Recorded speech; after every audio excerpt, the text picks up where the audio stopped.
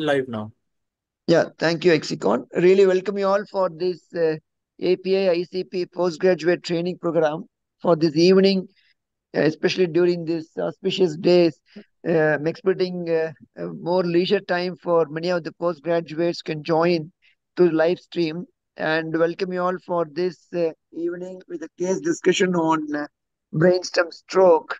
We have eminent faculty for this evening, the professor and head of the Department of Medicine of SRM uh, Medical College and Institute and uh, Research, the Department of Medicine, and Associate Dean of PG Academics, Dr. J.S. Kumar sir. Welcome you, sir, for this program. And we have. Dr. Raj is also professor and head of the Department of Medicine from Melmaruthur Adiparasakti Institute of Medical Science and Research. Welcome you, sir, for this evening. And we have Venisha. She is the postgrad from SRM Institute and Medical Science and Research. And uh, request uh, the faculties take over as well as the postgraduate start presenting the case. Over to you all both. Thank you. Over to you, Dr. Vinisha. Good evening, sir. Um, I'm Dr. Srivanisha. I'm doing final year postgraduate in medicine, and um, our moderator is Dr. J.S. Kumar, sir. He's HOD of General Medicine uh, in SRM Medical College and Hospital, Potheri, sir. And I'm going to present about a patient uh, who is 56 year old male and is ailing from Chengalpet. Is a watchman by occupation, right-handed person, educated till fifth grade, sir. And informant is the patient, so the reliability is fair. Uh, he presented with chief complaints of giddiness associated with unsteadiness while walking since one day and deviation of angle of mouth to left side since one day with difficulty in swallowing food, sir. Okay, Vinisha. Yes, Uh, sir. Hold on. Previous slide. Let's go slide by slide. So you have an uh, 56 year old gentleman who is right-handed. And uh, what is the clinical relevance of handedness in uh, cranial nerve, uh, I mean, in, in central nervous system? Uh, sir, dominant uh, uh, for right-handed person, it is 90% left dominant cerebral hemisphere, whereas in left-handed person, 60% it is uh, left dominant, sir. So while the patient is rehabilitating, if the patient has a lesion in left hemisphere, we have to give more rehabilitation because that is the one which is, deals with language and uh, speech, sir. Mm. So does it have any prognostic uh, prognostication that you tell the patient? For example, patient is a right-handed person and he has a uh, left uh, uh, SOL. So what could happen post-operative? So Post-operatively, patient can lose his language and speech skills, sir. uh, that's where you know that that prognostication is also very important and quality of life. Yes, sir. So how do you look for uh, handedness? Uh, so patient can be asked to fold their hands in front of a chest, whichever hand is facing forward, the patient that is left, uh, dominant hand, and also can be asked to view through a pinhole, sir. Whichever uh, eye is uh, predominantly using to view, that is a dominant uh, side, sir. Okay. And you can If ask the pa- patient to stand at ease also. Yes, okay, sir. So that usually uh, a right-handed person in Indian culture, there is always a, uh, I mean, there was some forced way of just getting them into right-handed, even if they are left-handed, isn't it? Yes, sir. They- Because they, I mean, by and large, majority feel that right-handed uh, person, I mean, that's what is culturally accepted. So, but when it is an uh, right eye, it is always right eye because people never want to change that eye. Eyedness is going to be the same. Yes, handedness and eyedness will not go together. So we have to give more importance for the eyedness rather than the handedness if you have a doubt. Okay. Yes. Okay. Thank you. Mm, Next. Then what about the key complaints? The Uh, first one? present with giddiness with unsteadiness while walk, walking, sir. Mhm. So what do you mean by giddiness? Can you, So is definitely. giddiness uh, and the vertigo the same? Uh, no, sir. Giddiness means subjective feeling where the patient has small adjustment with the environment. A vertigo, it is an illusion of uh, rotation. It can be subjective or objective. That is because of mismatch between visual um, proprioception and um, uh, central also, sir. Visual proprioception and central. Vestibular. Okay. Vestibular. So next, uh, then comes your deviation of angle of mouth. So what do you infer from that? Um, so patient is having a facial nerve lesion, sir. Deviation of angle of with just the history, we cannot rule out whether it's UMN or LMN. So just uh, left side uh, deviation, it can either be a UMN lesion or an LMN facial nerve lesion, sir. And what about the third complaint? Difficulty in swallowing food, it can be either a neurogenic cause or a uh, occlusive cause, sir. Or peripheral cause, neurogenic or peripheral cause. Uh, neurogenic cause, the patients will have uh, uh, difficulty in swallowing more towards liquid than solid, where it's a peripheral or occlusive lesion, patient will have um, swallowing defects more to solids than liquids, sir. Okay, and okay. do you know what are the phases in the act of swallowing? Uh, so first is the uh, chewing phase, which is uh, mediated by trigeminal nerve. After that, patient first they'll try to chew, and after with the help of tongue, they'll try to roll and make a, a globus of food and propel it backwards. After that, the pharyngeal phase will start, uh, followed by esophageal phase. Sir. Okay, so for the uh, chewing phase, you said it is the Trigem trigeminal nerve defect, sir. Okay. So which muscle acts on that? Chewing phase. Um. Masseter, sir. Masseter, yeah. Masseter. Masseter. Then what happens later on? The patient will try to roll his tongue and make the food into a bolus, sir, and try to swallow it with the help of hypoglossal nerve. Before that, what before that what what should happen to make it into a bolus? The food can be in the pouch, isn't it? The buccal pouch. Uh, actually, seventh now will will try to seventh now will aid, sir, help. Uh, which muscle? Hmm. Um, buccinatus, I'm not sure. Correct, buccinator. Buccinator. So from uh, from the food from the buccal pouch is got into the floor of the mouth. Then only our, uh, I mean, the tongue starts into acting to make it into bolus and then thrust it, and yes. which starts the uh, end of the pharyngeal and the starting of the esophageal. Yes. Okay.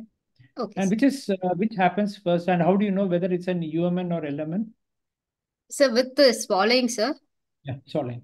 Um, UM. History, history. Any vague idea whether?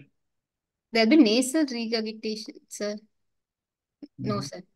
The UMN initially difficulty will uh, in UMN lesion the difficulty will be on the swallowing liquids because it requires um, that we call it the kinetic melody. Hmm? So the kinetic melody gets affected UMN first, whereas uh, when you have a for LMN, you will be having um, uh, what you call it is for the forceful thing. So it is for the solid foods. Then later on, both solid and liquid are the same. They will have difficulty. Okay. So initially, the patient says, "I had difficulty in taking liquids, followed by solid." Then probably in history, we should get into some kind of a these are the clues. These are kind of like you know jigsaw pieces. We may not get the picture but at least we may come close to the picture. Okay. but if it's LMN definitely you will have other uh, i mean you have the ninth and tenth i mean you said the glossopharyngeal and the vagus comes into play. But UMN usually you have along with that uh, what else you will have? Apart from that what will be along the history if it is going to be UMN along with difficulty in swallowing voice changes will be there so host voice changes will be present. Uh, so what voice changes spastic dysarthria in case of UMN lesion and flaccid in case of LMN with nasal twang to the speech present sir. What do you call that? Lesion is it's a pseudobulbar pseudobulbar palsy and bulbar palsy okay. Continue the next slide um, so the, uh, the uh, elaborating the history of presenting illness, if patient was apparently asymptomatic on 1st of January this year after finishing his work.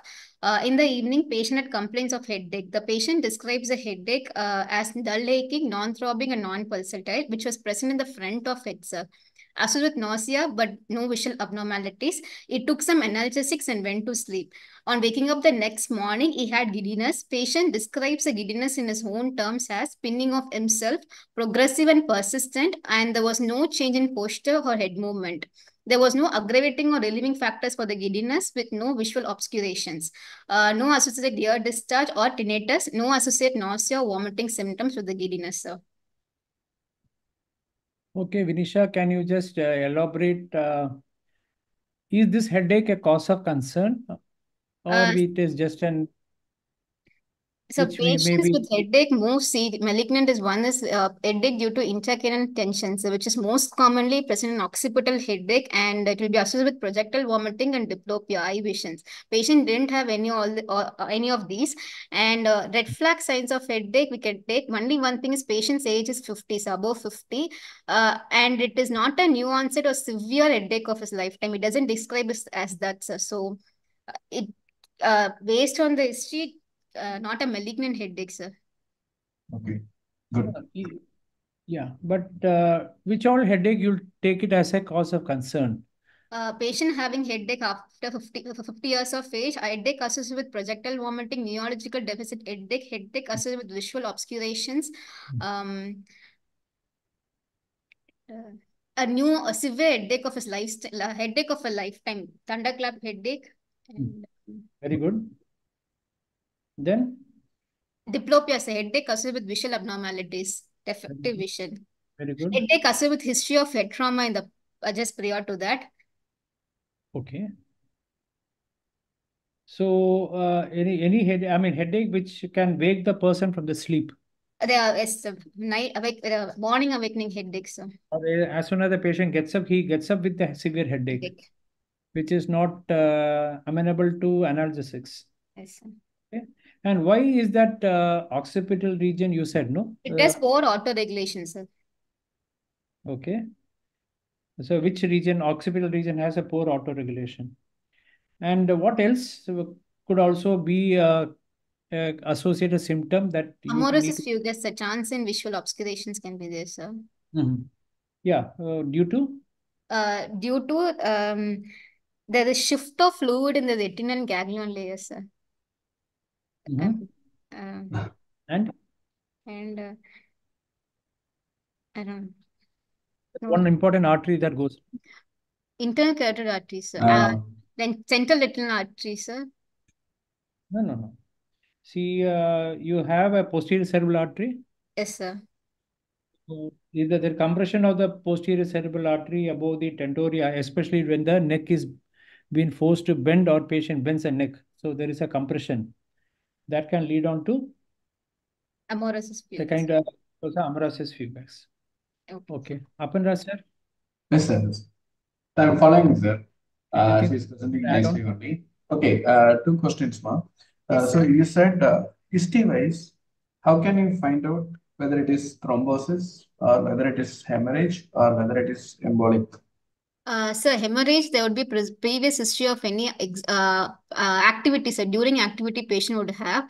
And uh, uh, hemorrhagic, the maximum um, th thrombosis, the maximum, it doesn't, it progress over hours and days, sir. Hemorrhage will progress over minutes and seconds and minutes, will be very rapidly progressive in nature, sir. Embolic, they'll present initially stuttering hit, stuttering uh, hemiplegia, like TIA, which slowly keeps progressing like a stroke in evolution, sir. Stroke in evolution is usually a feature of thrombotic. uh, Thromb uh, patient will have TIA, multiple infarcts, emboli, sir. So usually emboli will be presenting with the severity from the beginning. Okay, and after that it will be relieved. Okay. Okay, hemorrhagic again, it can present severely as well as it can increase over a period of time due to the bleeding is increasing. But a thrombotic is the one where presentation be can be mild, okay, in the beginning, and after some time it can gradually increase, Okay. gradually increase and can reach the maximum, right, reach a plateau after some time. So this is called stroke in Stroke evolution. evolution. Stroke in evolution. Okay. So usually, what is the time that uh, um, thrombotic stroke will occur? Mostly mo awakening strokes, sir. Morning Okay, awakening strokes So morning and they try to get up, so they will be having a stroke. Embolic stroke and hemorrhagic stroke are at the height of activity, Exertion or uh, physical activity, sir. physical activity. Okay, which is more common, ma? Thrombotic headache, sir. Headaches, thrombotic strokes. are strokes are more common. In younger ages, in young strokes. Embolic strokes are more common. Embolic strokes are- Okay. So what are the types of embolic strokes? Um, Cardioembolic and another, another one is Arterio, arterio. uh, Embolic, sir. atherosclerotic embolic strokes. Atherosclerotic embolic stroke. Cardiac embolic strokes are common in young people. Atherosclerotic emboli are more common in the elderly. Okay. Okay. Okay, continue. Over to you, sir. Uh, Um, patient, uh, you said that the headache, uh, wa- his sleep was disturbed or not disturbed? no, sir. He, according to history he gave, he took some analgesics and went to sleep, sir. Okay. The sleep Uh, was why not should a headache, if it is, if you think that it is a concern or a malignant, why should the headache, uh, the sleep need to be affected? Sir, why the sleep affect? It's Ah. not affected. If it is, if it is so. And why that, uh, that sleep is getting disturbed? That's what I need to know. It's a mm, mechanism, sir. Um, during the REM sleep, there will be high pressure waves, sir. So during that time, the patient will have awakening. What wave is that? High pressure, um, alpha discharges. Delta wave. Sir, The delta wave. delta. Okay, sir. Delta wave only, uh, when the delta wave comes in, it increases the intracranial pressure. Okay. sir. So whenever there is already an raised intracranial pressure, so there is a there going to be a uh, there is going to be a decompensation, which causes severe pain. And why is that there is pain?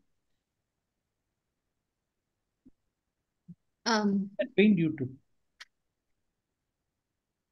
pains, uh, sus pains. There are pain sensitive structures, sir, that is getting affected. like Um, pains is the pain sensitive structures in uh, see, cranial. Uh, uh, one is scalp, skin, scalp. in, Uh, in this in no, no in this condition when there is a raised intracranial pressure No idea, sir. because of the dura, the dura Uh, gets dura stretching. Hmm. Richie. Okay. Oh. Yeah.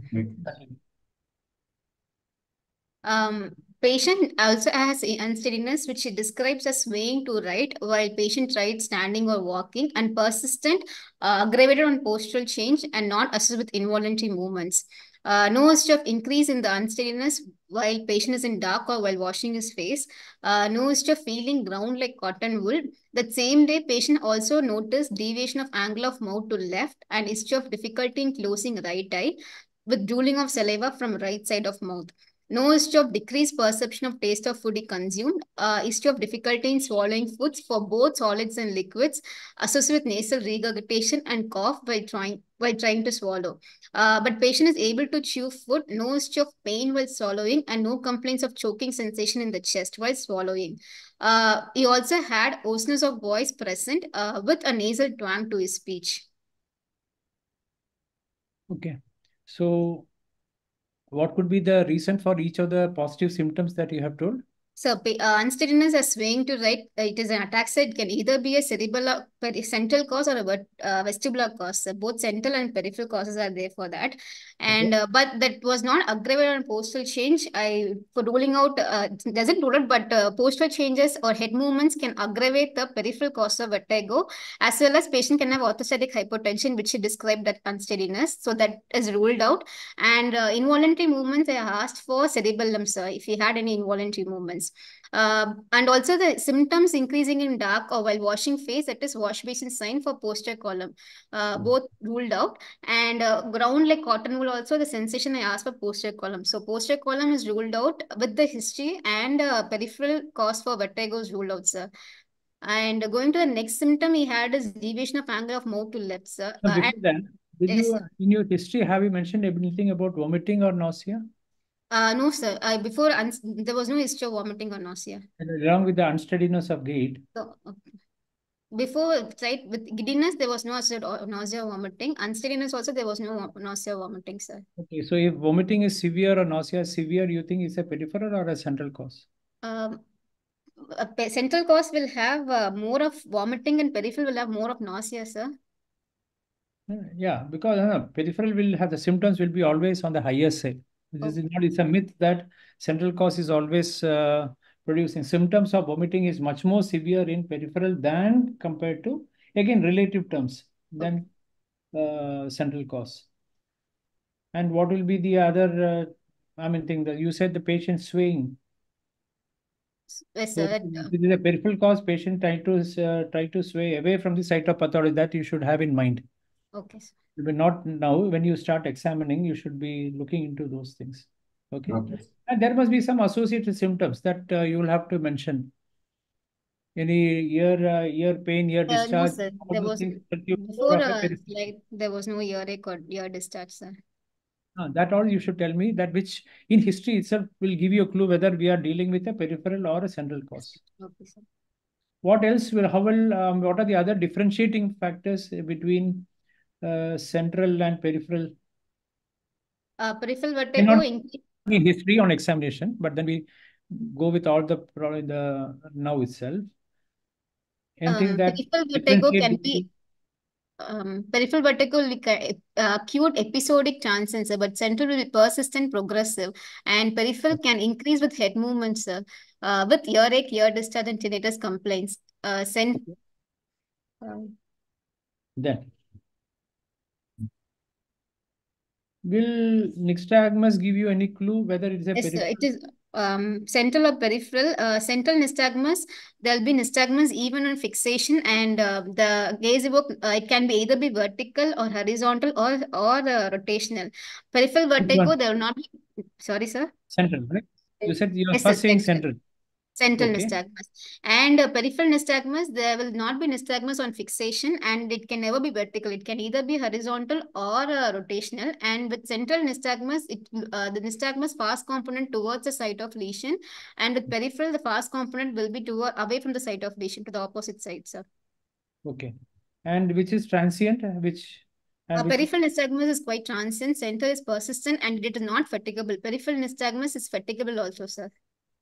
Always one thing you said, I just want to reiterate for other postgraduates who are hearing. Periphery is usually always horizontal nystagmus. Uh, but Yes. in central, it can be, as you said, it can be an uh, vertical nystagmus. direction. Yeah, it can be any direction.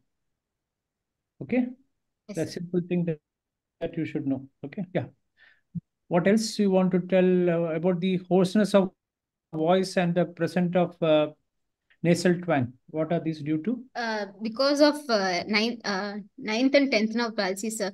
Uh, with nasal twang, so probably it is an LMN, sir. If it's a UMN patient, will have like a hot potato patient, like speaking from the back of the tongue, back of the throat voice, sir. Mhm. Whi- Which one you're telling about the ah? So you're we now we talk about on the dysarthria part, isn't it? Yes, sir. Okay. So what is dysarthria? Um, difficulty in articulating, sir. Hmm. Difficulty in articulating, it can either be spastic or flaccid, um, dyskinetic, ataxic, and frontal dysarthria. Uh, flaccid is an LMN palsy of 9 and 10, and uh, that is uh, bulbar and spastic and pseudobulbar palsies. Uh, so spastic patient will have like a hot potato speaking from the back of the throat, but uh, pseudobulb, uh, but with LMN palsy, it will like uh, nasal twang will be there to his speech, sir. Uh, dyskinetic can either be hypo or Why should be there a nasal twang to the speech? Uh, because the palate, uh, uh, it is um, palate is flaccid, so, so No, it is the pharyngeal muscles because the nasal aperture is opened. It doesn't close. The pharyngeal muscles are not closed properly. okay. So you have the air being let out. So through the you have that nasal twang. Okay, sir. Hmm. And um, uh, dyskinetic can either be hypo or hyper. Hypo uh, occurs in uh, patients with uh, Parkinson's without that nasal proso that prosody of speech will be absent, sir. Hyperkinetic with chorea, patients with chorea, um, hyperkinetic. Ataxic speech is cerebellar speech. It can either be staccato or scanning speech. Scanning is a patient will uh, separate each syllable and talk. Speech, there will be forceful, uh, forceful nature to particular syllables. sir. And frontal um, dysarthria is also there. So it is seen in uh, patients, uh, children with intellectual disabilities. So kind of you know kiddish childish talk we call it. Oh, okay, okay, sir. How will you differentiate between dysarthria and dysphasia or a dysphasia? What is the thing that is pertinently different between these two? Um, It is language. In dysarthria, there is normal language. yes, sir. So this is Whereas only in the, dysphasia, the uh, language is also. So what is what do you mean? I mean, how will you define language? um, language is what uh, the ability to convert whatever you're think, thinking into a mode of communication, sir. Uh, it can either be writing or speaking or like um, uh, showing with your hands or the signs, using signs. And one more thing would be repeating, repetition. Uh, okay, sir. Repeat. Yeah. Yes. Next. Complex. Upper Next. Yes, sir. Um, okay, uh, so, so since Sarah has gone into the aphasia, so what are the aphasias involved? Um, sir, uh, I can either uh, fluent aphasia, non-fluent aphasia, transcortical aphasia, um, um, then Conductive aphasia, nominal aphasia. nominal aphasia and conduct conductive aphasia. So transcortical motor and sensory aphasias. Okay. Um, Okay. So what is the blood supply for uh, Wernicke's area? What is the blood supply for uh, so anterior limb of middle cerebral artery for Wernicke's and uh, posterior, uh, is, um, superior, superior for both are middle cerebral arteries, sir. Yeah, yeah. Superior branch for And um, Wernicke, um. Broca's and uh, inferior for uh, Wernicke's, sir. So if the stem is affected, it could be a global Global aphasia. aphasia. Global aphasia. So what is conductive aphasia? Uh, conductive aphasia where the arcuate fasciculus is affected, where the patient's uh, repetition will be intact, sir. The repetition will be intact or affected. Um, repetition will be, repetition only will be affected, sir. Uh, repetition only will be affected. Both the fluency and comprehension is preserved. Preserve- Okay.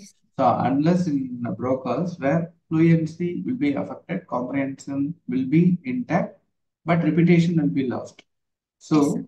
Like in transcortical motor, since it has no direct relationship with the uh, arcuate fasciculus, so they will behave like the typical Broca's and uh, typical uh, Wernicke's, except for the preservation of repetition. Okay. Yes. In conductive aphasia, all other things will be normal except for repetition. Okay. Yes, sir. So which is the most common type of aphasia? Most common Broca, sir. It's nominal aphasia.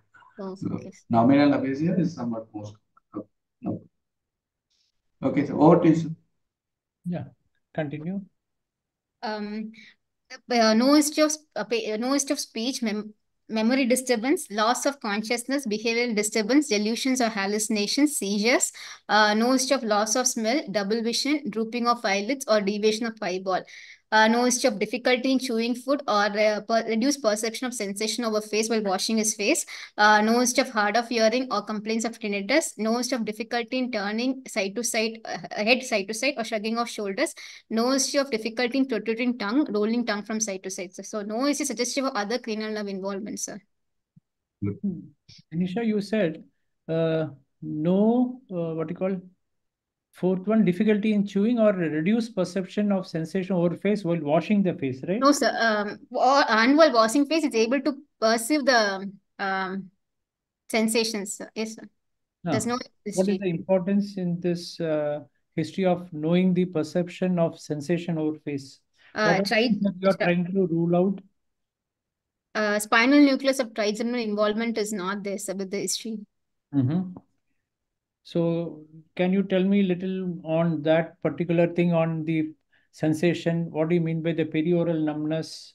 What is that onion peel Onion skin appearance or balaclava helmet appearance? appearance. That is the. It is not the appearance. It is the the pattern of involvement of Normal. numbness. Uh, so the arrangement of fibers of spinal nucleus of trigeminal in upper uh, cervical uh, in upper cervical region is such that uh, the mm, the perioral is caudally represented and the uh, periphery part is cranially uh, present, sir. Okay, rostral and caudal or anterior or superior, whichever way you want to describe. So, So caudally, you tell me. So Um, if it posterior or caudal effect is there, which how is it affected? periorally, sir. Uh, so patient will have perioral sensations lost first, sir. Perioral. Sensations lost first in the onion ring pattern. Yeah, onion ring pattern is correct. Onion peel, not Onion onion ring. pattern. So when you have the uh, onion peel involvement, the perioral represents always it is a caudal or the I mean, this is it po is posterior or superior? You you are um, mixing it up. Uh, sorry, sir. I'm not sure about that. The perioral will be rostral or the anterior. Okay. Anterior. And okay, and the so you the only you go the posterior only you'll have the the perioral representation is the rostral one. Okay, because of the and how many okay that we'll ta- talk about later. And what else you said? The double vision, anything to do with this particular uh, system that, I mean, case that you are presenting? Um, you ask for double vision? so diplopia, uh, patient had headache, so inter intracranial increased intracranial pressure can present with diplopia. Okay. Uh, No, in this we- particular, because you are presenting one, you, you have one diagnosis for the day, isn't yes, it? sir. So Uh, whether is there any kind of a connect between when you say there is no history of double vision? Uh, sir, horn, uh, no, so Horner's also there'll be ptosis only, there'll not be double vision. But you have Okay. given uh, no history of drooping of. Yes, sir, there was no history of drooping of eyelids. Yeah, before that, double vision, uh, in context with the case that you are presenting. This is your taken for as for as a, a pro forma in all cases, isn't it? Yes, sir. How will you connect these two, the today's case? Sir, presentation um, MLF double- lesions can have intent, uh, Exactly, that's what, yes. MLF correct. lesions. Uh, Okay. So you are trying to tell me there is no probably involvement of medial longitudinal fasciculus, isn't it? Yes, sir. See, you when you present this pro forma wise, you should always try to find out what is the relevance to the case that you are presenting. So this may be the kind of questions, you know, that examiner will put out, out of the blue. You should, you know everything, but only way is that you try to link. Okay. Mm-hmm. Okay. Continue. Um, no history of difficulty in buttoning and unbuttoning sh shirts, pillage by taking food, difficulty in mixing food, combing hair, raising arm above head, and difficulty in bringing food to mouth. No history of difficulty in holding on to slippers or tripping over toes while walking, difficulty in clearing obstacles, uh, buckling of knees, difficulty in getting up from chair, difficulty in rolling bed. Uh, no history of difficulty in holding the neck or raising head from pillow. So in total, patient doesn't have history suggestive of proximal or distal limb, uh, trunk or limb uh, power involvement, sir. Aparna sir. uh, yes, sir. So there, there is no motor involvement in this case. Okay.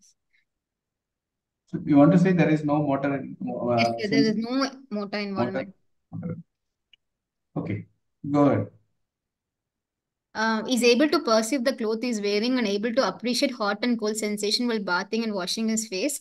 Uh, no of numbness, pins and needles or burning sensation of sole of feet. Uh, no of band-like sensation or electric shock-like sensation.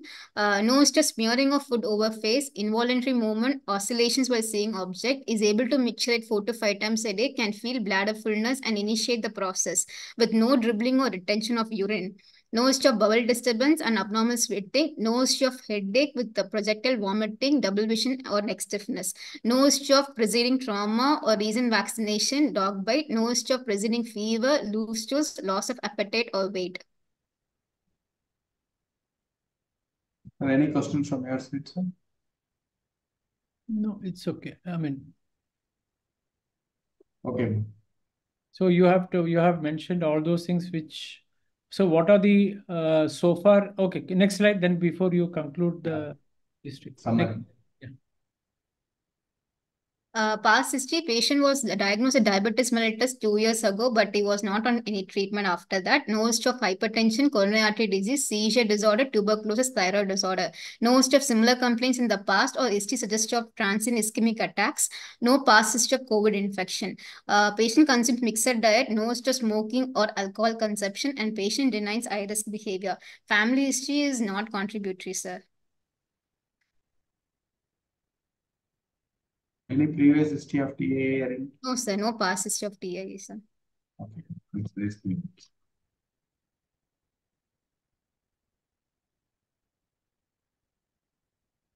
So what are the modifiable risk factors present in this region? Uh, only diabetes, sir. With the history, gave diabetes. Modifiable, non-modifiable. Is a male, Is a male after 56 years of age. Um, also both gender and uh, ages in non okay. non-modifiable. Is, is he Okay. obese? Uh, is no, sir. Adequately, moderately built Next, marriage, sir. next slide.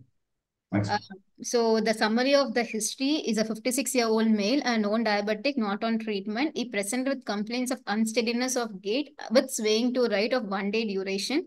And there is a history suggestive of involvement of cranial nerves 7, 9, and 10.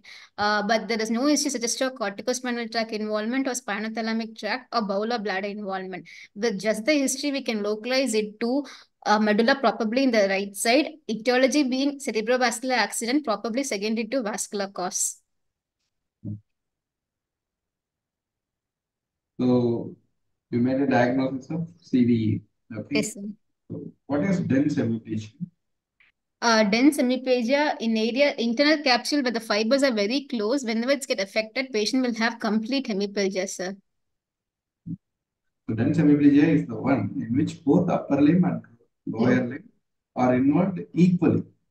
Yes, sir. Okay, sir. Are involved equally. So that is called dense hemiplegia, and most common cause for dense hemiplegia is capsule lesion. Okay, what is brachial hemiplegia? What is crural hemiplegia? Uh, crural is only lower limbs affected. Brachial is only upper limbs affected, sir. Crural can be secondary to uh, throm uh, Not only, not only, uh, more affected, Okay, sir. more affected. And where is the lesion? Uh, sir, for uh, bilateral, uh, for the uh, crural, uh, probably secondary to unpaired anterior cerebral artery infarct, sir. Okay, so what It's is a cortical type of lesion. Okay, okay, what is it? no, sir? Please continue. Please. continue. No, It's a cortical cortical lesion. Okay, in the cortical lesion, you'll be getting. this. Okay, sir, you, you can. So what is crossed motor hemiplegia? Crossed, uh, facial nerve in one side and um, uh, hemiplegia on the opposite side, sir. Come again? Uh, facial nerve in one Uh, side, Okay. element facial nerve in one side and uh, opposite side hemiplegia, sir. Mhm. What is hemiplegia cruciata? Uh, this occurs whenever the infarct is uh, the um, upper limb fibers uh, of corticospinal tract will decussate in the upper medulla, while the lower limb fibers will decussate in the lower medulla. So whenever there's infarct in this region, there will be uh, ipsilateral upper limb involvement, contralateral lower limb involvement, sir. That is cro- crossed motor hemiplegia. Hemiplegia cruciata, sir. Same, yeah. So again, you're talking about the where is the lesion? Medulla, sir, upper medulla. Yeah. So these are the questions that you will be uh, you should be answering when you're localizing uh, your lesion probably in medulla based upon history. So if there is a headache in this patient, now Yes. what is the cause? Vascular. So Yes, what what will what will vascular causes? Since you said it's a CVA, right? Yes, sir. Headache with Especially when you're talking medulla, is- yeah, medulla is the area of. So what are things that can happen? See, cerebral venous thrombosis can happen in that area, sir. Mm -hmm. Cerebral venous thrombosis. Okay. Uh, vascular, uh, it can be, weak uh, when it comes to medulla? it's And we mostly are talking about headache, and then uh, we are talking about a cerebrovascular accident, which uh, which is causing um, a thrombus, uh, thromboembolic phenomena with the localization in medulla. Are you? I mean, did you understand my question? Yes, so, so what are the talking uh, about medulla. So medulla means which system, which uh, vascular structures we are. Uh, is it in your mind that you are looking into? Is it the uh, anterior circulation or the posterior circulation? posterior circulation, sir? So when there is a posterior circulation and you feel the medulla is probably the uh, area that is affected, what could be the, you said the etiology is vascular cause. I Sir, want to uh, know most what could probably an be, inf infarct secondary thrombosis, sir. okay, especially when there is a headache, because you said there is a headache. Headache. So now I'm trying to connect all the dots. uh, Remember? vertebral, okay, sir. Hmm.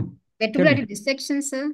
Yes, this is what, vert- it can be a, v- most probably a vertebral dissection. We, it usually in all our uh, other uh, cardiovascular like hemiplegia or paraplegia, we never talk about dissection. But here, when you're talking about medulla and especially posterior circulation, you should think of uh, dissection of the vertebral artery as one of the cause. Okay. Okay.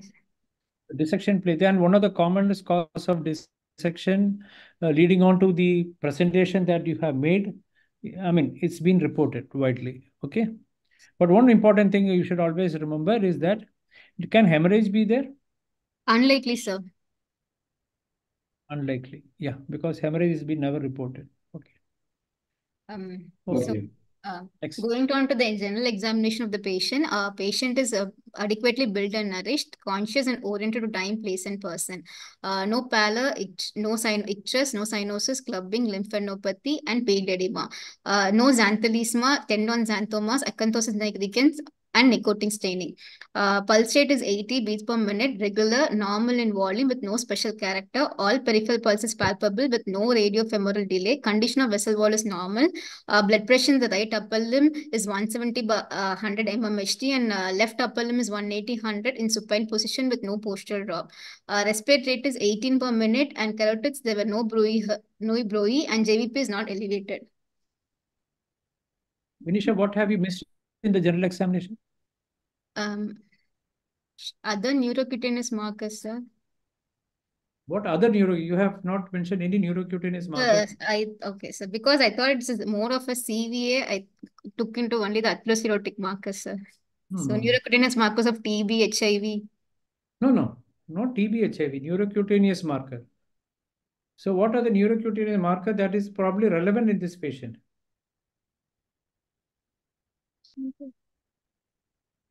Tell me the neurocutaneous markers that you have been Um, so phacomatoses like uh, café au lait macules, adenoma sebaceum, uh, No, neurofibrom, for, for uh, falls in which condition? uh, acoustic neuromas, sir. The acoustic neuromas. Where where do the acoustic neuroma happen? Sir, Pontomedullary junctions. sir. Are we- your your uh, area of interest is no medulla? Yes, sir. So I should have All is. Yeah, that's what I'm telling you. That's very important. Don't take anything for granted because an examiner is looking at how systematic you are uh, writing the case sheet. So please, in just one word of neurocutaneous. Sir, tell me about the other neurocutaneous markers. Um, adenoma sebaceum, sir. And uh, Which condition? uh, tuberous sclerosis, sir. Other uh, neuro other markers in tuberous sclerosis? Um, epilepsy, low intelligence, adenoma sebaceum. Hmm. Shagreen patch? Ah, Shagreen's patch, sir. Shagreen's patch. Okay. What Uh, else problem in this patient? You, I could see he is diabetic and now you are bringing in hypertension also.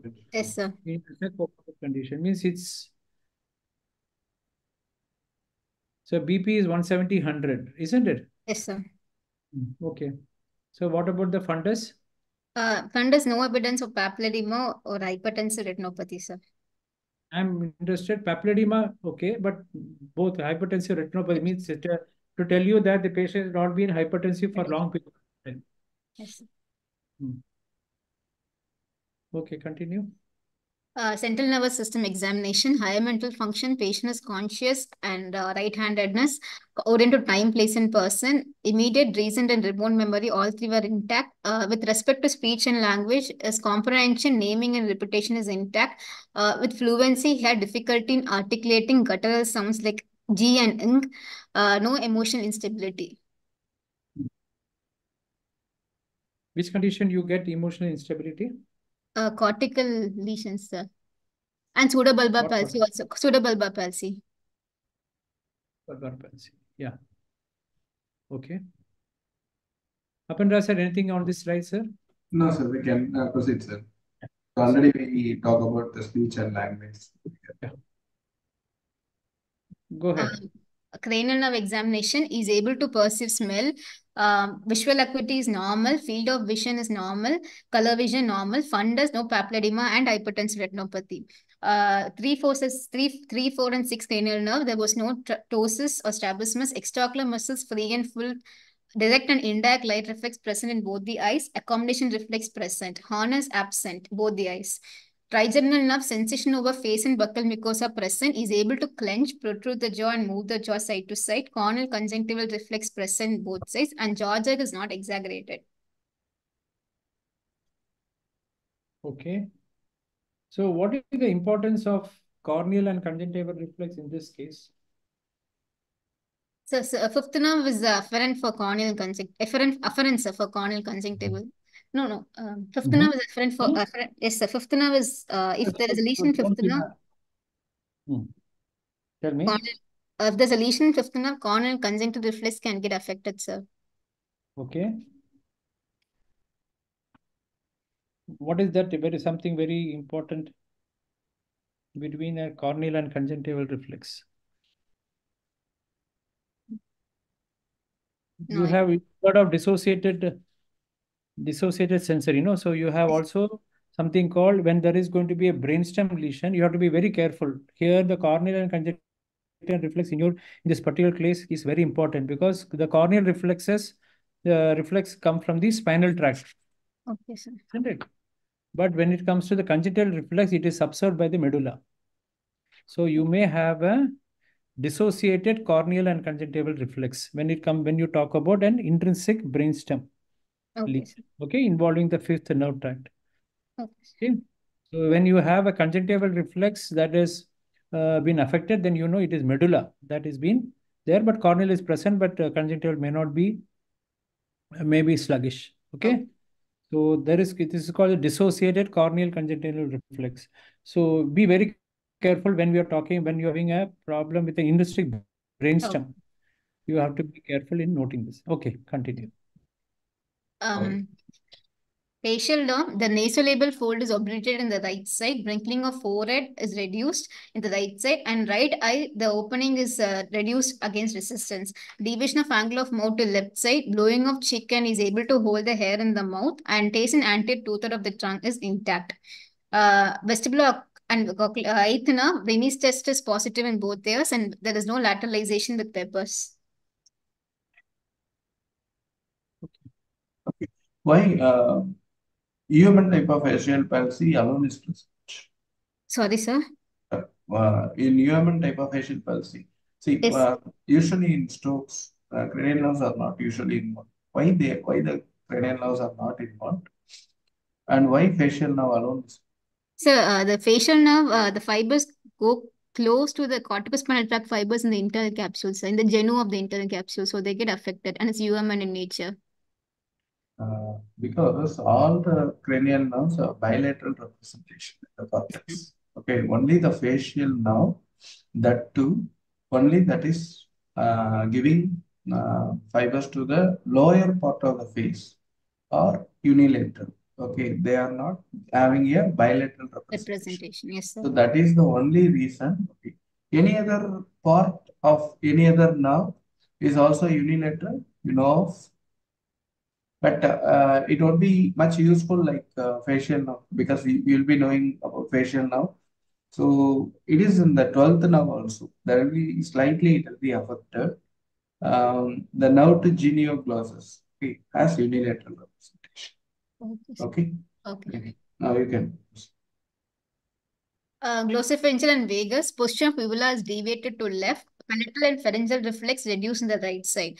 Uh, is able to shrug the shoulder against resistance and able to turn it against resistance. Um, there is no deviation of tongue on protrusion, no fibrillation and wasting. Is able to fold the tongue and press against a buccal aspect of cheek. On palpation, the tongue is firm, sir. Okay, so when it comes to the 12th nerve, uh, can you tell me uh, the movement of the tongue is to Uh, which side if it is affected? Deviation of, Same, same side, sir. so along, yeah, 12th is the same side and along with which other cranial nerve also the same 12 side? and 5 same side, sir. 7 and 9, uh, 9 and 10 opposite sides, sir. 7 and 10. 7 and 10. Okay, so that is something a mnemonic for uh, which my uh, professor had told that is the rule of 17. Oh. Okay, 5 Yes. and 12 toward the same uh, same side uh, to the disease side and 7 and 10 so 5 and 12 is 17 and 10 plus 7 17 so the rule of 17 so this is for you to easy to remember for you don't have to certain things you may have to mug up because of the examination time. You may get confused with so much of pressure on you. So 5 and 12 to the normal side. That's why facial always you see the angle of uh, deviation angle of um, uh, mouth is deviated to the normal side. Okay with the bulk, there is no uh, upper and wasting, sir. Both upper and lower limb. Okay. Uh, tone, upper and lower limb, both tone is normal, and power in all the joints with all the movements, it was 5 by 5, and finger grip is 100%, sir. Um, uh, reflexes, superficial reflex intact, conjunctival reflex intact, pharyngeal is reduced is is reduced in the right side, abdominal reflex present, rheumatic is not done, sir, bilateral plantar flexor. Okay. Uh, jaw jerk is not exaggerated. Uh, all deep uh, deep tendon reflexes are two plus, sir. Why you want to have a exaggerated? Why can't it be normal? Sir, patient, uh, patient, it can be normal. Normally, patient, uh, sometimes patient, normal people can also have absent jaw jerk. sir. Yeah, absent is important. Normal. Why exaggerated? You said jaw If jerk. it's uh, s- Not uh, exaggerated. a s- upper cervical cord lesions can have a jaw jerk, exaggerated jaw jerk, sir. Okay. So what does the what is the level of what does it tell you? What does it represent? Jaw presence of uh, exaggerated jaw jerk, or uh, where is the level of lesion? I mean, what does it tell you? What does correspond to? Above C5, sir. Um, Hmm? Above C5. Which nucleus? mesencephalic nucleus in Trigeminal. Trigeminal. yes. Okay. Continue. Uh, limb test for coordination in both upper and lower limb was normal, sir. And uh, there was no dysmetria, ataxia present and swaying to right, and nystagmus bilateral, gaze evoked nystagmus with fast component to right. There was no intentional tremors, no staccato scanning speech, tone was normal, uh, and no rebound phenomenon or titubation, sir.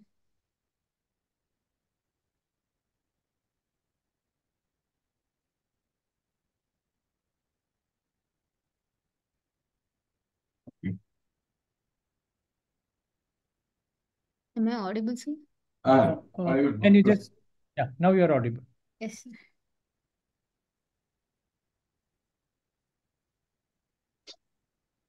Am I, sir, not able to hear, sir. Can you hear me? Yes, sir, I can hear you. Okay. So can you tell me on this particular thing, nystagmus? Yes, uh, there was gaze evoked nystagmus with fast component to the right, sir. So when the patient looks onto the right, the fast component toward the right. When the patient looks onto the left, the fast component is also to the right. Yes, sir. That's how in uh, that's how it happens Um, about a cerebellar lesion.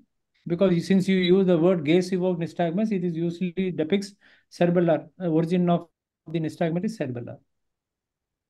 um, is the fast component always project to the site of lesion, sir? Yeah, fast component to the site of lesion, but you have you said both with fast component to the right. But generally, So gaze the evoked looks at left also, the, it will be right.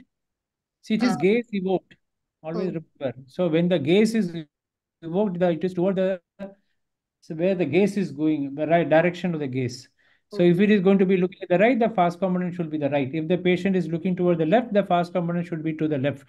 oh, Okay, okay, sir. that's how it is. If it is going to be gaze evoked nystagmus, because Okay. your your nystagmus is to differentiate between whether it is a central or a peripheral or a vestibular or cerebellar, isn't it? Yes, sir.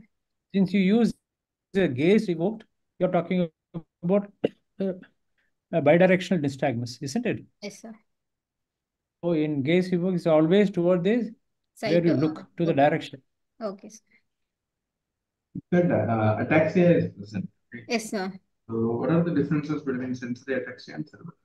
Uh, uh, cerebellar ataxia is a wide-based, uh, the patient will have white based gait associated with it. Sensory ataxia, patient will look down and walk, so he'll keep uh, looking down and walking.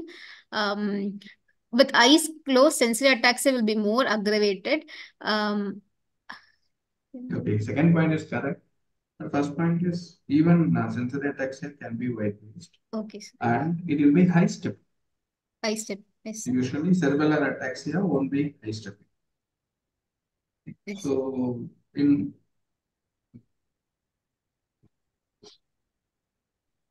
so white based ataxia with the high stepping is sensory ataxia. Without uh, high stepping is cerebellar ataxia. Okay.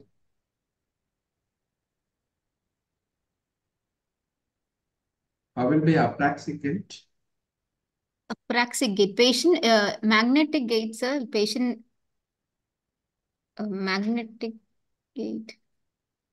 What is Waddling gait? Waddling gait will occur in um, uh, low, um, uh, when the glut uh, gluteus medi uh, gluteus muscles affected, sir. Okay. Waddling gait mainly ineffectiveness of the proximal muscles. So uh, conditions causing waddling gait are usually myopathies or congenital dislocation of hip, like that. Okay.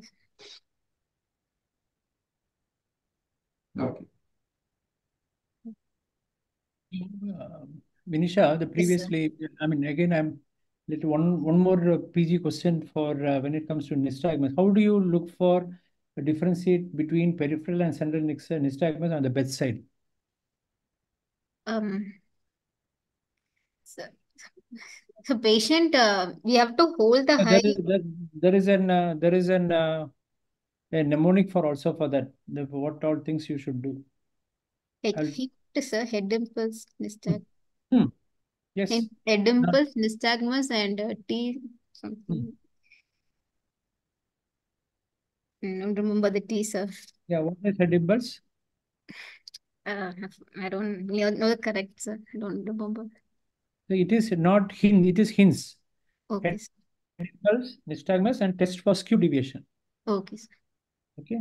So because these are all things that happen when there is going to be, I mean, skew happens only when there is a central cause. Yes, It never occurs in uh, periphery, isn't it? But then you have, uh, because everything, uh, skew deviation, everything, what is skew deviation, by the way? Uh, so one, uh, one eye will go up and one will go down, sir. So there is a, a vertical misalignment of the Yes. both eyeballs, isn't it? Yes, sir. Hmm. So you are looking for nystagmus. In uh, nystagmus, you are looking in if it is central cause, it is going to be, it can be any direction. Hmm? That's why you call that skew deviation also comes in. Any direction you have nystagmus, but in uh, periphery, it is always going to be horizontal. Okay. Uh, head impulse, when you try to look into the one side, that suddenly there is because of the vestibular apparatus is damaged. There is going to be sudden, there is going to be a, a catch-up saccade. Okay. Okay. That is called the head impulse. When you turn, when you tilt the head toward the uh, toward the affected, away from the affected side. Okay. Okay, sir. Sure. So that's why it is called the catch-up saccade. That impulse is going to be uh, abnormal in when it's going to be periphery because there's a periphery peripheral uh, system, the utricle, the saccus, and the, the semilunar canals are affected. But in central, there is no, the head impulse test is always going to be normal. Understood? Yes, sir. Okay, sir. Okay, so the hints is something that you know you may be asked in your examination, H-I-N-T-S, head impulse, nystagmus, and test for skew deviation. Okay, sir. Next. Uh, sensory system, superficial touch pain and temperature, by uh, both right and left side present, sir. Deep uh, pressure, deep pain, by uh, for timed vibrations more than 10 seconds in the lower limb and position sense also is present. With respect to cortical sensation, tactile localization, uh, two point discrimination, stereognosis and graphics are present, sir. So sensory system is intact, sir. Okay. Um, there's absent signs of meningeal irritation. Rob, uh, patient uh, gait while trying to assess the gait, patient is swaying to right even with eyes open. Uh, so Romberg's test not done. Spine and cranium normal. There was no peripheral nerve thickening or tenderness. Other system examination, CVS S1, S2 hurt, no associated murmurs. Uh, respiratory system, there was normal vesicular breath sounds, no added sounds. Per abdomen soft, no organomegaly.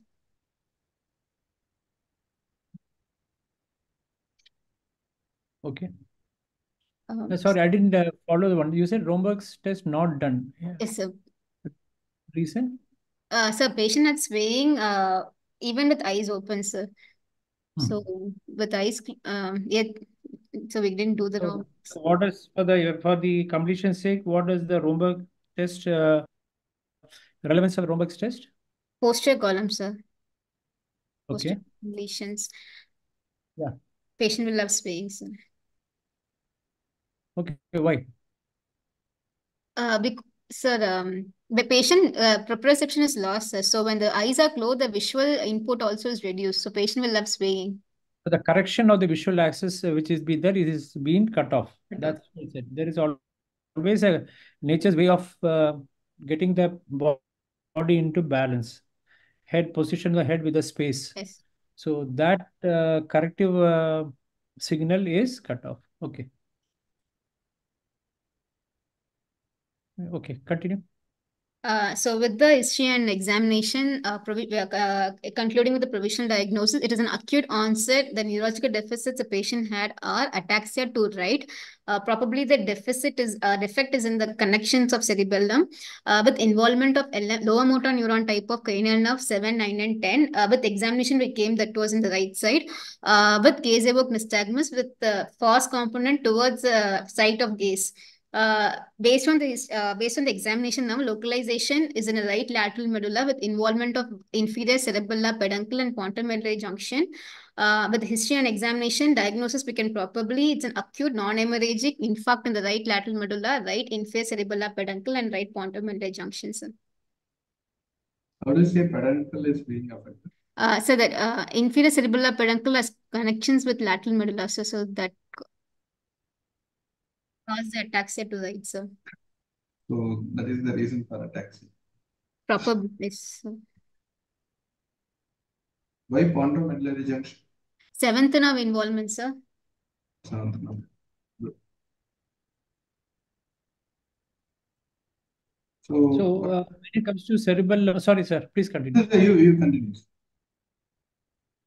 You continue. Is it audible, sir? Hello? Yes, sir. It's audible, sir. Uh, sir, is the sir is in line? So means if I can put the question in another uh, way. You can you can put the question. You can. Yeah. If it is going to be a paleocerebellum, what will be the kind of uh, ataxia the patient will say in history? Uncle ataxia, sir. It will be mostly gentle and side-to-side -side ataxia. Okay, sir. But when it is going to be a flocculonodular uh, lobe, then you get the reeling gait, that so-called drunken gait. Okay, sir. Okay. And if it is going to be uh, middle cerebral peduncle, um, cerebellar peduncle, contralateral ataxia, sir. Hmm. So either will be contralateral. Lateral. They have a spastic ataxia. Okay, sir. Okay. So inferior cerebellar cerebellar peduncle sometimes you know have all the feature that suggests you of a vestibular type. So you have to be careful. So you have made here as an inferior cerebellar peduncle. So you have to uh, tell the examiner that because they mimic totally a periphery cause, I mean like vestibular apparatus uh, signs. Okay, so you have to be careful when you talk about. Uh, so in this patient, probably inferior cerebellar peduncle as well as flocculonodular lobe can also be involved. Does he have uh, does he have history of consumption of alcohol? No, sir. He denies history of consumption of alcohol. What's his occupation? As watchman, sir. Okay. What is rule of four in uh, the instance? Sorry, sir. I can't hear you, sir. Rule of four. Um, there'll be four cranial nerves in the midline. Um, three, um, three, four, six, and twelve, sir. And four medial structures, four lateral structures. Okay. Uh, four medial structures starting with letter M, medial lemniscus, MLF, uh, motor nucleus of 12th nerve and motor pyramid, and four S is spinothalamic tract, sympatho uh, sympathetic tract, spinal nucleus of trigeminal, and um, um, sensory nucleus of. Uh, you said vascular, isn't it? So which vessel are you trying to implicate? Uh, vertebral artery, more vertebral artery, sir. Mm -hmm. More than PICA, sir. More than PICA, posterior inferior cerebral artery. Hmm. Why? If it, yeah, why? Sir, that um, vertebral artery is a major source of blood supply that gives a branch shape PICA which supplies lateral, sir. Hmm. Yeah, in previous books, older books, they will say PICA is the most common reason, but nowadays it is vertebral. If you ask in MCQ, you have to say your double.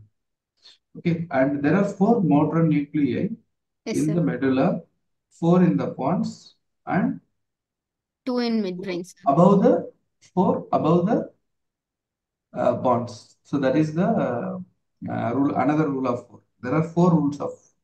You said yes. all the three. Okay, this is the only thing you are left. So in medulla there are four cranial nerves and in pons, four cranial nerves, and four is above pons. Because two things will not be in midbrain also, olfactory and they, because they have the direct connection. Okay, optic. So trigeminal, uh, how many nucleus are there? Um, four nucleus are there, sir. Uh, so that four, no, I am telling again. Oh, so what are the four?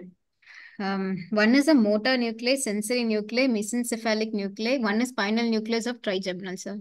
Yeah, sensory, you also call it as a primary sensory nucleus because since there are going to be spinal tract is also involved, that has also sensory. So there are two sensory component and you have also the motor nuclei. So how is the uh, representation?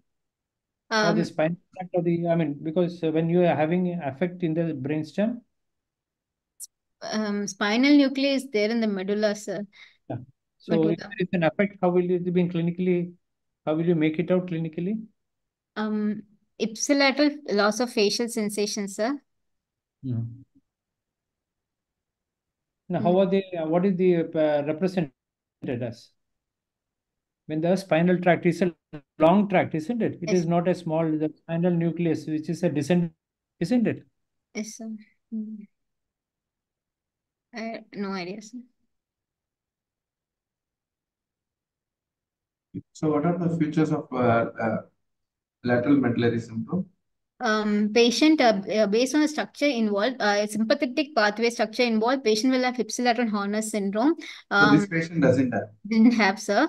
And uh, spinothalamic tract involved, patient will have contralateral loss of pain and temperature, which was absent in this patient. Uh, because of involvement of nucleus ambiguus, that is uh, ninth and 10th nerve, patient will have hoarseness uh, and dysphagia, which is present in this patient. Uh, spinal nucleus of trigeminal, there will be ipsilateral loss of facial sensation that is not there in this patient. Ipsilateral is there, sir, in this patient. And uh, vestibular nucleus involved, patient will have uh, nausea, vomiting, vertigo, and nystagmus, sir. One more thing that I would like to add on, maybe I lost the audio in between, is that you have an inverted representation. Okay, so forehead will be represented below and the mandibular uh, would be represented above when you have the, the long tract of the spinal nucleus is involved. So it is called the inverted representation. That's also another a question that examiners would love to, for the discriminator to give you more marks. Okay, so okay. find out what you mean by the inverted representation. Okay. Okay, so can you tell me what do you, uh, I mean, so you're not thinking in terms of, uh, so what, do you want to put everything as one syndrome or, or it, you have an a patchy, it's a patchy, uh? Hmm. Uh, so since patient can also have improvement in the symptoms, uh, all the symptoms of, uh, they say all the symptoms of uh, medullary infarct will improve except the basal uh, nuclei symptoms. So probably the patient's other symptoms improve. So what do you mean by pseudospinal pattern? Pseudospinal pattern. Um, no idea, sir. So sometimes uh, we, uh, when, when you have a lesion as a, especially when you're talking about the lateral medullary syndrome, because where you know that the pain and temperature loss will be confined only to the uh, contralateral lower limb, okay, yes. or to, to some extent to the trunk as well, because the spinothalamic tract is there, no?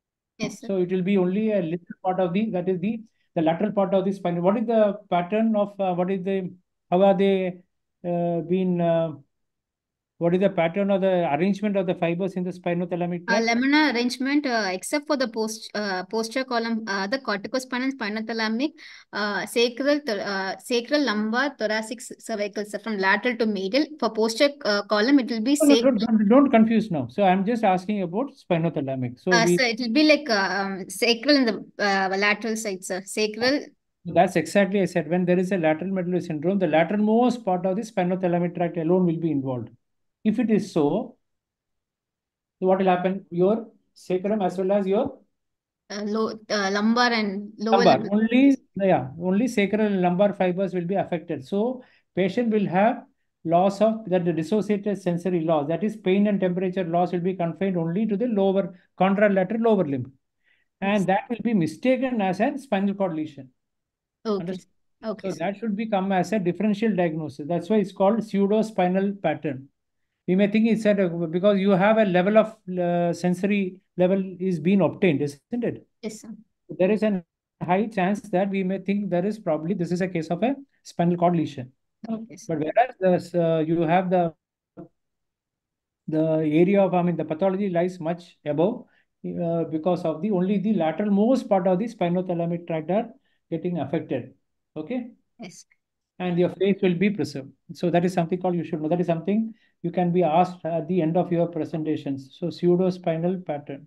Okay, So what are the uh, salient points uh, of uh, lateral medullary syndrome? Um, patient have will Something have unique, unique, unique about lateral medullary. I'm not asking about the what are the features of lateral medullary. What is something unique they will have multiple uh, patient compared, compared with other uh, CVA? uh, so patient will have multiple um uh nerve cranial nerve palsies will be there, sir. And uh, But common things. Don't don't think that I'm asking you uncommon thing. Yeah. So actually, motor system is involved in most of the system that we talk, isn't it? yes, sir. So because the pyramidal tract is uh, being uh, supplied by the is in the medial. Uh, Sir. what is the pyramidal tract supplied by? Which artery? Mid middle cerebral artery, sir. No. Yeah, yeah, middle cerebral artery in the in medulla. When it In comes to middle uh, vertebral artery, so it is in the medial aspect. yeah, it is the medial aspect.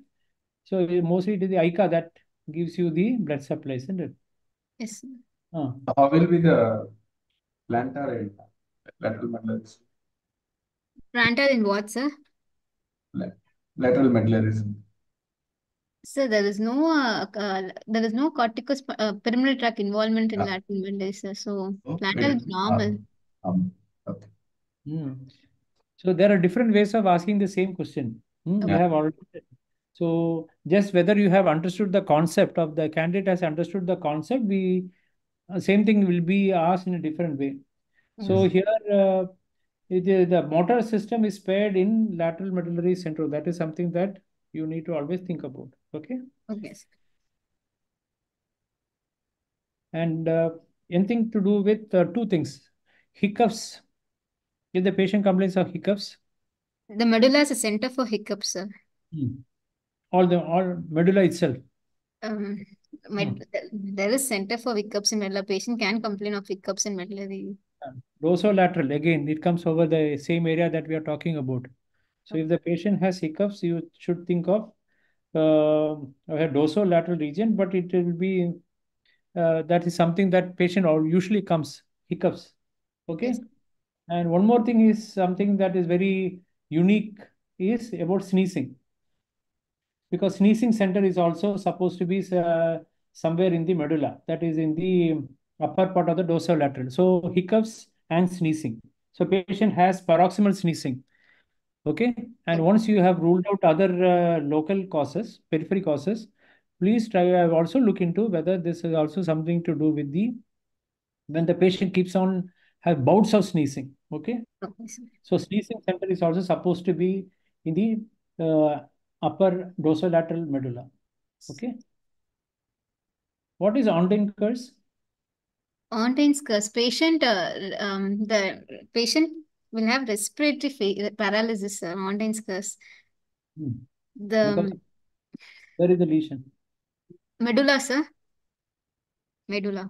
Now we are talking about all medulla. So I'm questioning also is medulla because of the the lesions in the reticular formation which is adjacent to nucleus ambiguus. What is nucleus ambiguus? Uh, so nu nucleus ambiguus is the ninth and um, tenth nerves, uh, nucleus, sir.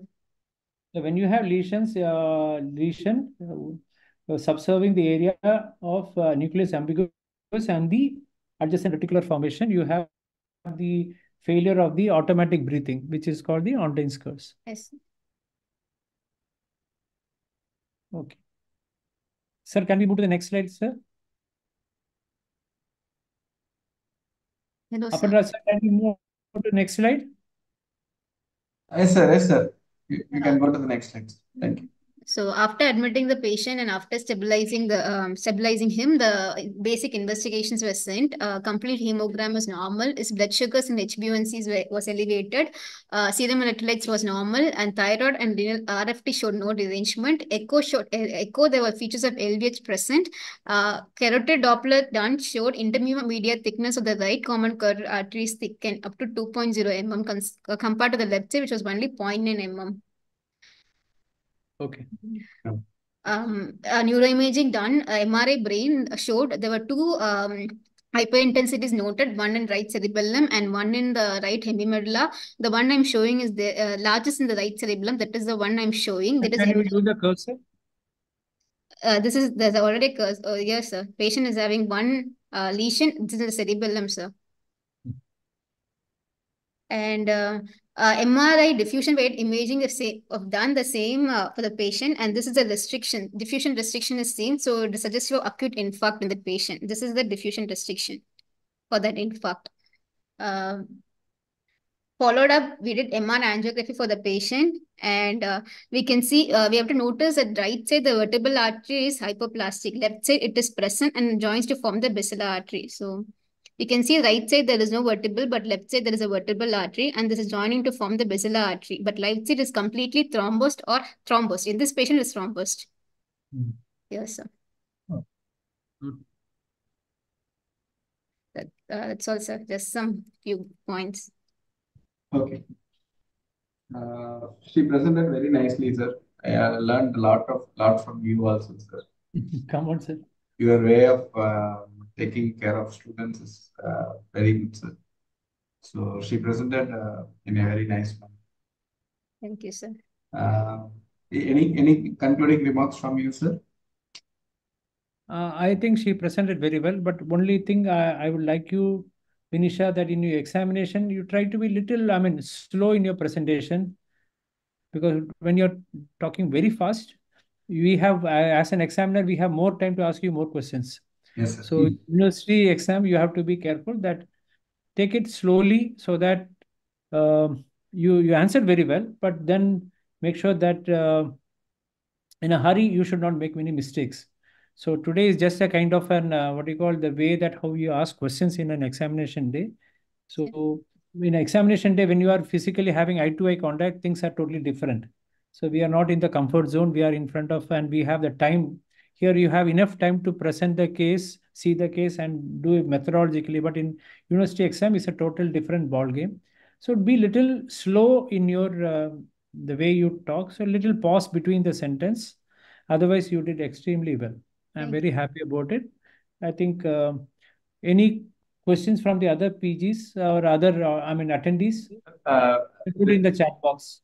they won't be allowed, sir. Oh, okay, sorry. So, nothing, sir. They will be seeing in the live stream, sir. Okay. So only faculties will be there. So since uh, Saravanan sir is not uh, today uh, available, he, he went for a family meeting. So it's better uh, we will conclude, sir. Uh, Yes. I once again thanks the PG for wonderful presentation, and I would like to thank academic dean and uh, professor and HOD of uh, SRM for having a very good live session. Um, and it will be helpful for all PGs across India. I would take, uh, I would like to thank API Central and as well as API Tamil Nadu for having hope on uh, Chengalpattu API and giving us the opportunity to do that. Thank you. Thank you. Thank you. Thank you so much. Thank you, sir. Hexagon, you can uh, close. Yeah. So you, you can stop sharing. Thank you and good night. Good night, sir. Good night, sir.